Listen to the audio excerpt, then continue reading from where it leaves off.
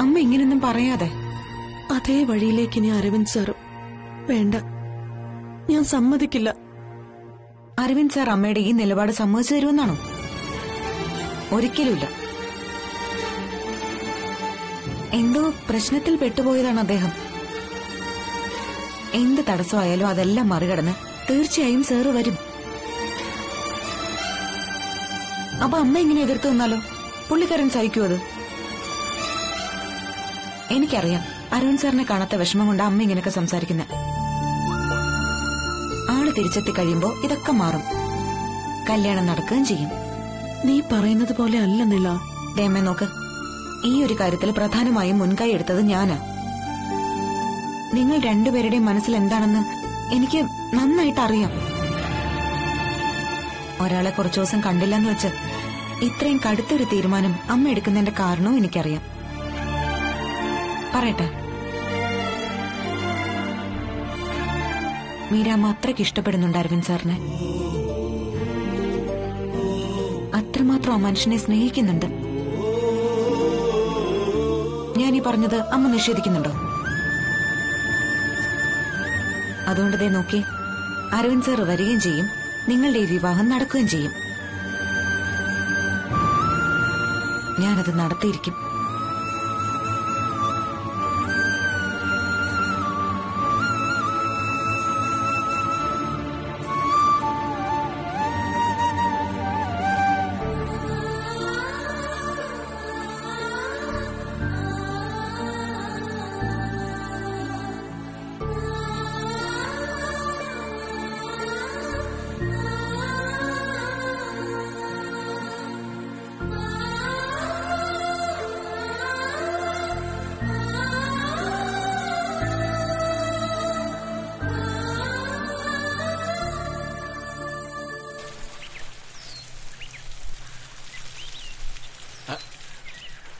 നിങ്ങളുടെ വലിയേട്ടൻ പിന്നെ വിളിച്ചില്ലേ?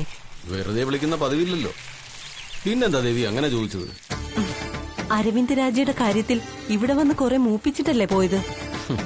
വല്യേട്ടന് മനസ്സിലായി അയാൾ ഇവിടെ ഇല്ലെന്ന്. പുള്ളിയുടെ തിരോധാനത്തിൽ നമുക്ക് പങ്കില്ലെന്നും മനസ്സിലായി. എന്താ ഞാൻ പറഞ്ഞത് ശരിയല്ലേ? നിങ്ങൾ മൂപ്പീന്നിനെ വിളിച്ച് ഭീഷണിപ്പെടുത്തിയില്ലേ? കല്യാണം നടത്താൻ സമ്മതിക്കില്ലാന്ന്? ആ അതിന്റെ പേരില ഉണ്ണിത്താൻ ചാടത്തുള്ളി വന്നത്? ഞാൻ വലിയേട്ടനെ വിളിച്ച് സംസാരിച്ചു എന്നുള്ളത് ശരിയാ. പക്ഷെ നാക്ക് എന്റേതായിരുന്നെങ്കിലും വാക്ക് നിന്റേതായിരുന്നു. ശരിക്കും പറഞ്ഞ ദേവി എന്നെ കൊണ്ട് വിളിപ്പിക്കുകയായിരുന്നു. ആ, അല്ല. അതിപ്പോ ഉണ്ണിത്തൻ നമ്മുടെ പേരിൽ കേസോ മറ്റോ കൊടുക്കോ ഹേ ഞാൻ സ്മോൾ അടിച്ചിട്ടാ വിളിച്ചെന്ന് ചേട്ടച്ചാർക്കറിയാം. അത് ഇവിടെ വന്നപ്പോഴും മനസ്സിലായി. അല്ലെങ്കിലും അനിയൻ ചേട്ടനെ വിളിച്ച് എന്തെങ്കിലും സംസാരിച്ചു എന്ന് വെച്ച് ആരെങ്കിലും കേസ് കൊടുക്കുവോ? അതിനല്ല. അരവിന്ദ് രാജയെ കാണാനില്ലാത്ത വിഷയത്തിൽ നമുക്ക് പങ്കുണ്ടെന്ന് കാണിച്ച് കേസ് കൊടുക്കുന്ന കാര്യം ഞാൻ പറഞ്ഞത്. അതിന് നമുക്ക് ആ വിഷയത്തിൽ പങ്കില്ലല്ലോ ദേവി. പിന്നെന്താ പ്രശ്നം? ദേവിക്ക് എന്താ ഒരു ഭയം പോലെ? ഭയമല്ല. ചെറിയൊരു ടെൻഷൻ. അതിന്റെ കാര്യമില്ലല്ലോ. നമ്മൾ ആ വിഷയത്തിൽ നിരപരാധികളാണ്. അഥവാ വല്യേട്ടൻ കേസ് കൊടുത്തു എന്ന് തന്നെ ഇരിക്കട്ടെ. പോലീസ് അന്വേഷിച്ചു വന്നേക്കും. വരട്ടെ. എന്റെയും ദേവിയുടെയും കൈകൾ ശുദ്ധമായിരിക്കുന്നിടത്തോളം കാലം നമ്മൾ സേഫാ.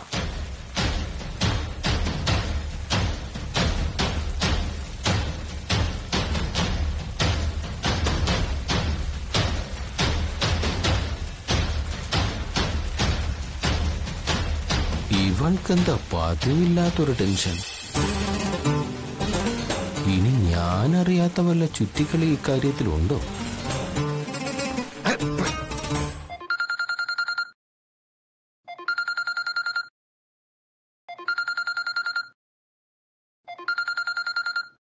ആരമ്മേ? പരിചയമില്ലാത്തൊരു നമ്പറാ. എന്തായാലും എടുക്ക. നമ്മൾ പ്രതീക്ഷിക്കുന്ന ആളിന്റെ കോളാണെങ്കിലോ. ഹലോ? ഹലോ? ഹലോ? ഗ്രീറ്റിംഗ്സ് അറിയിക്കാൻ വിളിച്ചതാ. എന്താ? ഗ്രീറ്റിംഗ്സ് ആശംസകൾ. വിവാഹ മംഗളാശംസകൾ ആരാമ്മ അയ്യോ ഞാൻ ആശംസ നേർന്നു.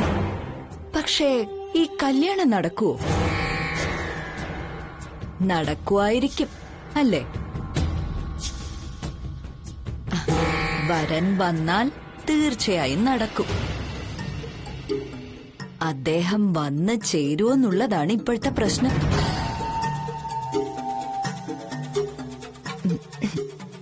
ആട്ടെ ഇഷ്ടൻ എവിടെ പോയതാണെന്ന് വല്ല നിശ്ചയമുണ്ടോ? നിങ്ങൾ ആരാ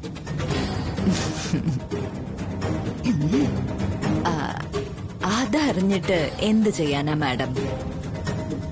ഇപ്പോഴത്തെ വിഷയം വിവാഹമാണല്ലോ. അതെ ഇനി കല്യാണത്തിന്റെ ഡേറ്റ് അടുത്ത സമയത്ത്. മൂപ്പര് വേറെ വല്ല പെമ്പിള്ളേരെ സംഘടിപ്പിച്ചുകൊണ്ട് സ്ഥലം വിട്ടതാണോ?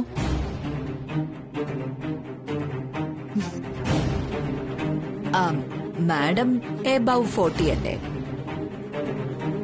പത്രക്കാരുടെ ഭാഷയിൽ പറഞ്ഞാൽ മധ്യവയസ്ക. നാടൻ ഭാഷയിലാണെങ്കിലോ? തൈക്കളവിയെന്നും പറയാം.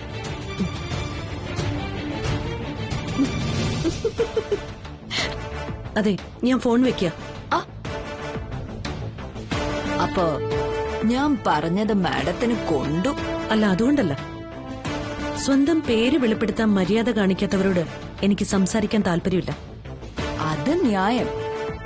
എന്തായാലും ഇതും കൂടെ കേട്ടിട്ട് മാഡം ഫോൺ വെച്ചോളൂ. കല്യാണം എന്തായാലും നടക്കാൻ പോകുന്നില്ല. എന്നാലും ഒരു വെൽവിഷർ എന്ന നിലയ്ക്ക് ഞാനിതാ അനുഗ്രഹിക്കുന്നു. ദീർഘ സുമംഗലീ ഭവ ചുമ്മാ.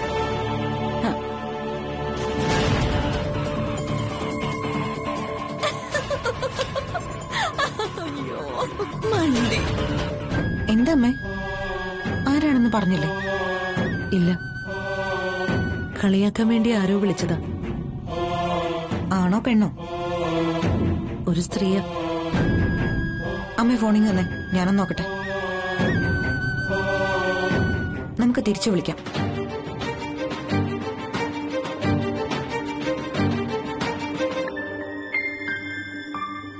ഈ നമ്പർ നിലവിലില്ല. ദയവായി നിങ്ങൾ ഡയൽ ചെയ്ത നമ്പർ പരിശോധിക്കുക.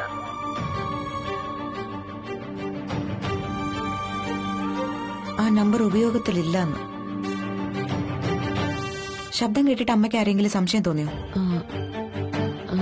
ഇല്ല.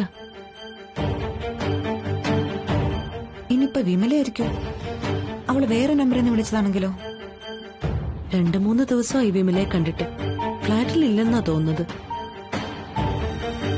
മീരാമ്മയുടെ മനസ്സ് നിറയെ കുശുമ്പ വിരോധം കൊണ്ടു നടക്കുന്ന ആളല്ലേ വിമല? ഒന്ന് കുത്തി നോവിക്കാവെന്ന് വിചാരിച്ചു കാണും. അങ്ങനെ തളരാനൊന്നും പോകുന്നില്ല ഞാൻ. അതിലും വലിയ പ്രയാസം അനുഭവിച്ചുകൊണ്ടിരിക്കുകയല്ലേ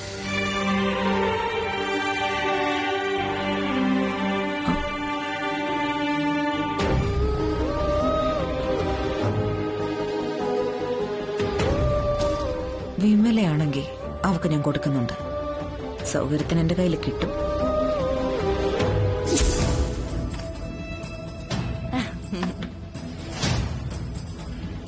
ഇനി ഈ ഫോൺ നമ്പർ നിലവിലില്ല. ഫോൺ വിളിച്ചതാര് എന്നുള്ള ചർച്ചയിലായിരിക്കും. ഇപ്പൊ മീരയും നിളയും ഞാനായിരിക്കുമോ എന്ന് നിളയ്ക്ക് സംശയവും തോന്നും. മിക്കവാറും അവൾ ഈ നമ്പറിലേക്ക് വിളിച്ചും കാണും.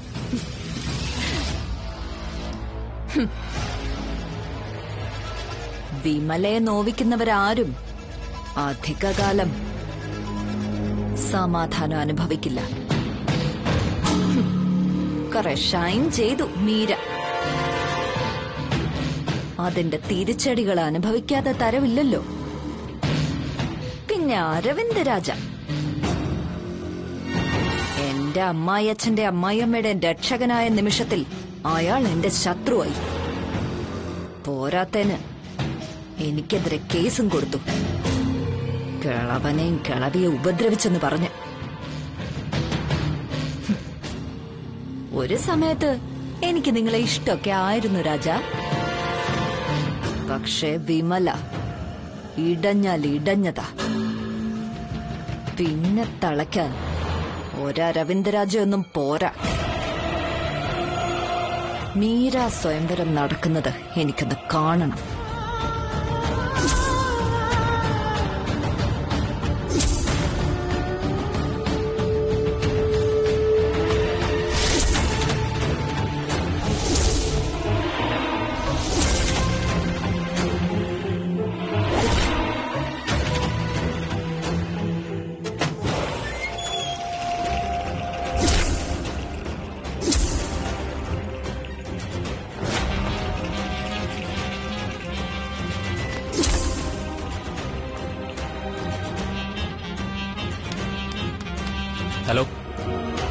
ഹലോ.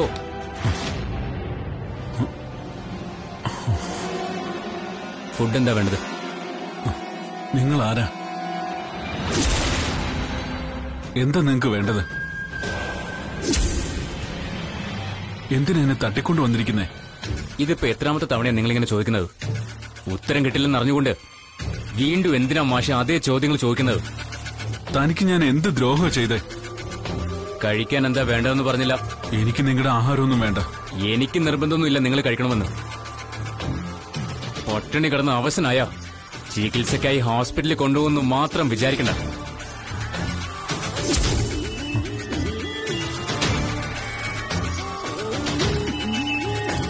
ഏതായി സ്ഥലം? അതറിയാതിരിക്കാൻ വേണ്ടിയല്ലേ കണ്ണ് മൂടിക്കെട്ടി നിങ്ങൾ എവിടെ കൊണ്ടുവന്നത്? എന്നെ വിട്ടയക്കുന്ന നിങ്ങൾക്ക് നല്ലത്. വെറുതെ ചുമ്മാതെ ഉള്ള സ്റ്റാമിന കൂടി കളയാതെ പോയി. ഞാൻ വിചാരിക്കാതെ തനിക്ക് ഇവിടുന്ന് പുറത്തു പോകാൻ പറ്റില്ല. ഹെൽപ്പ് ആരെങ്കിലും വന്ന് രക്ഷപ്പെടുത്തു. പ്ലീസ്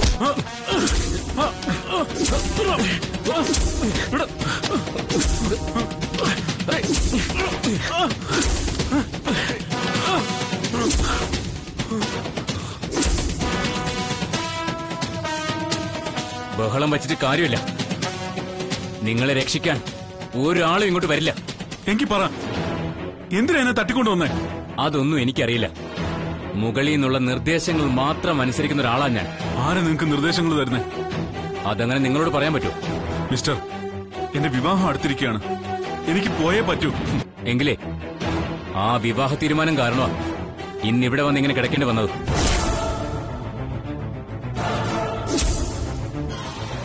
ഫുഡുമായിട്ട് ആൾ വരും. കഴിച്ചാ നിങ്ങൾക്ക് കൊള്ളാം.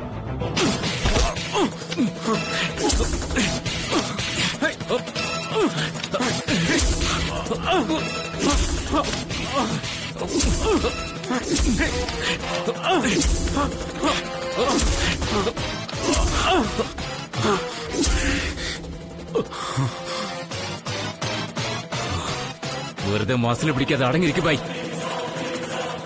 ഒരു കല്യാണ ചെറുക്കം വന്നിരിക്കുന്നു.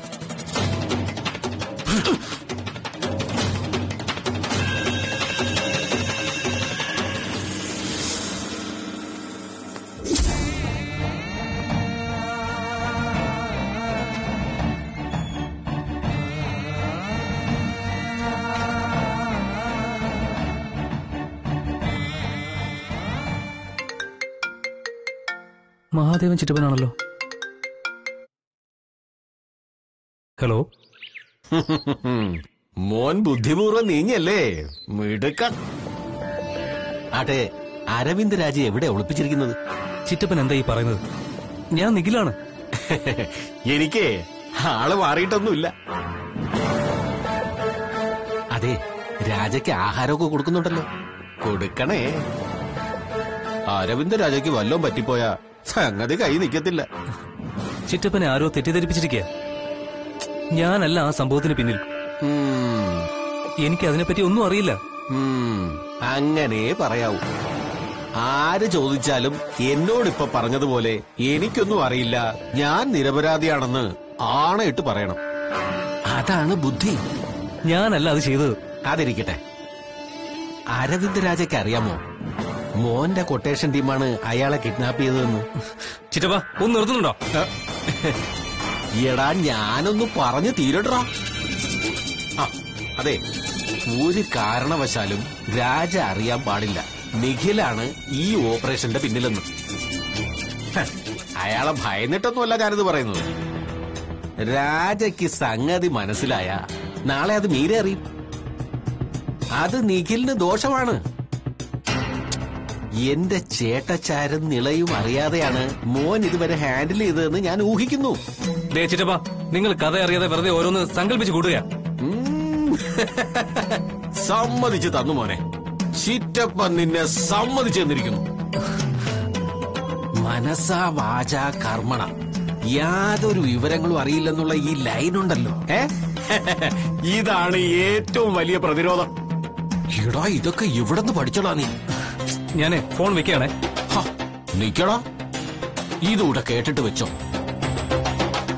മോ ബുദ്ധിമോശം കാണിക്കില്ല. എന്നാൽ ഒരിക്കൽ കൂടെ ഓർമ്മിപ്പിക്കുക. ഒരു കാരണവശാലും അരവിന്ദ രാജ അറിയാൻ പാടില്ല. ഈ തട്ടിക്കൊണ്ടു പോകൽ പരിപാടിയിലുള്ള നിന്റെ പങ്ക്. ദേ അയാൾക്ക് അതിനെപ്പറ്റി എന്തെങ്കിലും ഒരു സൂചന കിട്ടിയാൽ നാളെ രാജയെ തട്ടേണ്ടി വരും. ഇത്തരം കേസുകൾ പലതും കൈകാര്യം ചെയ്തിട്ടുള്ള ഒരു പോലീസുകാരൻ അനുഭവത്തിന്റെ വെളിച്ചത്തിൽ പറയുന്ന കാര്യങ്ങളാണേ. മനസ്സിലായോ? അപ്പൊ ശരി ഞാൻ അങ്ങോട്ട് വിളിക്കാം. എല്ലാം പറഞ്ഞ പോലെ.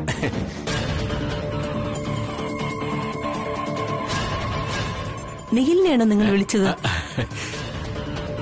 ഞാൻ അങ്ങോട്ടല്ല നിഖിൽ ഇങ്ങോട്ടാ വിളിച്ചത്. ഫോണിങ് തന്നെ നോക്കട്ടെ. അല്ല ഞാൻ അങ്ങോട്ട് വിളിക്കുകയായിരുന്നു. ഫോൺ ഇങ്ങോട്ട് താ ഔട്ട് ഗോയിങ് കോൾ നിഖിൽ ഇങ്ങോട്ട് വിളിക്കായിരുന്നല്ലേ? അരവിന്ദ് രാജയുടെ കാര്യമൊക്കെ പറയുന്ന കേട്ടല്ലോ. എന്താ നിങ്ങൾ സംസാരിച്ചത്? രാജ വന്നു. കല്യാണമൊക്കെ എവിടം വരെ ആയി? എന്ന് ചോദിച്ചതാ. ദേ ആവശ്യമില്ലാത്ത കാര്യത്തിലൊന്നും നിങ്ങൾ തലയിടണ്ട. അതെന്താ ദേവി നീ അങ്ങനെ പറയുന്നത്? രാജയുടെ കാര്യത്തിൽ ദേവിക്ക് എന്തെങ്കിലും അറിയാമോ? എനിക്കൊന്നും അറിഞ്ഞൂടാ. എനിക്കൊന്നും അറിയാനോട്ട് ആഗ്രഹമില്ല എന്നാ പിടിക്ക്. ദേ പിന്നെ കാപ്പി എടുത്ത് വെച്ചിട്ടുണ്ട് ഇങ്ങോട്ട് വാ.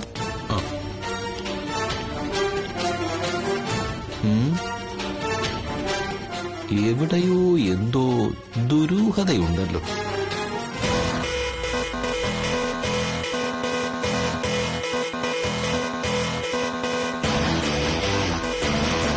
ചില കോളുകൾ വന്ന വിവരം ഫോണിൽ കിടക്കണ്ട.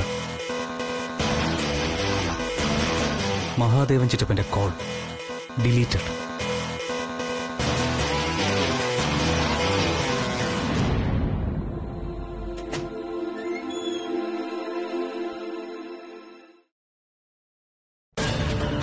നീ എന്താ ഒറ്റയ്ക്ക് നിന്ന് പുറകുറുക്കുന്നത് ഏയ് ഒന്നുമില്ല. ഫോണിൽ ആരോടെ ചൂടാവുന്നത് കേട്ടല്ലോ? ആരായിരുന്നു? ഓഫീസിൽ നിന്ന് ആവശ്യമില്ലാത്ത ഓരോരോ കോളുകൾ. ദേഷ്യം വരില്ലേ മനുഷ്യന്? നീ ദേഷ്യപ്പെട്ട് ഇവിടെ ഇരുന്നു. ഞാനൊരു സ്ഥലം വരെ പോവാ. എവിടെ? അരവിന്ദ് സാറിന്റെ വീട് വരെ. അരവിന്ദ് രാജയുടെ വീട് വരെ ഒന്ന് പോവാണെന്ന്. നീ എന്തിനാ അവിടെ പോകുന്നത്? ശ്രീലത എന്റെ അവിടെ ഉണ്ടല്ലോ. ഒന്ന് കണ്ടേക്കാന്ന് വെച്ചു. ആ. പിന്നെ അരവിന്ദ് സാറിനെ കണ്ടെത്താൻ പറ്റിയ എന്തെങ്കിലും തുമ്പ് കിട്ടുമോ അവിടെ നിന്ന് നോക്കാലോ. എന്റേതായിട്ടുള്ളൊരു അന്വേഷണം. നിനക്ക് വേറെ പണിയില്ലെന്ന് വാ അതൊന്നും വേണ്ട. ഞാൻ ആ വീട്ടിലേക്കൊന്ന് പോകുന്നതിന് നിനക്കിപ്പോ എന്താ? അതോ നിനക്ക് എന്തെങ്കിലും പ്രശ്നമുണ്ടോ? എനിക്കെന്ത് പ്രശ്നം? അരവിന്ദ് സാർ എവിടെ പോയി എന്ന് കണ്ടെത്താനായി മുന്നിട്ടിറങ്ങി അന്വേഷിക്കേണ്ടത് നീയാ. പക്ഷെ നീ ഇവിടെ ഇങ്ങനെ അനങ്ങാ പറയായിട്ട് നിൽക്കുകയല്ലേ? എനിക്ക് പോലീസിലല്ല ജോലി. ആ ശരി ശരി. ഞാനേ പോയിട്ട് വന്നിട്ട് നമുക്ക് തർക്കിക്കാം.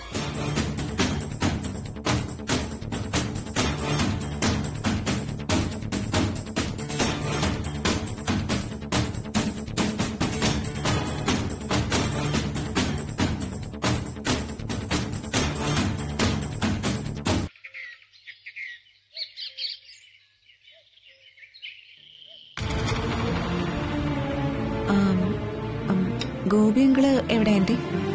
കണ്ണിന്റെ ഓപ്പറേഷൻ കഴിഞ്ഞിരിക്കുവല്ലായിരുന്നു. ഒരു മാസം കഴിയുമ്പോ ചെക്കപ്പിന് ആശുപത്രി പോണമായിരുന്നു. അതിന് പോയിരിക്കുക ഗോപിയേട്ടൻ.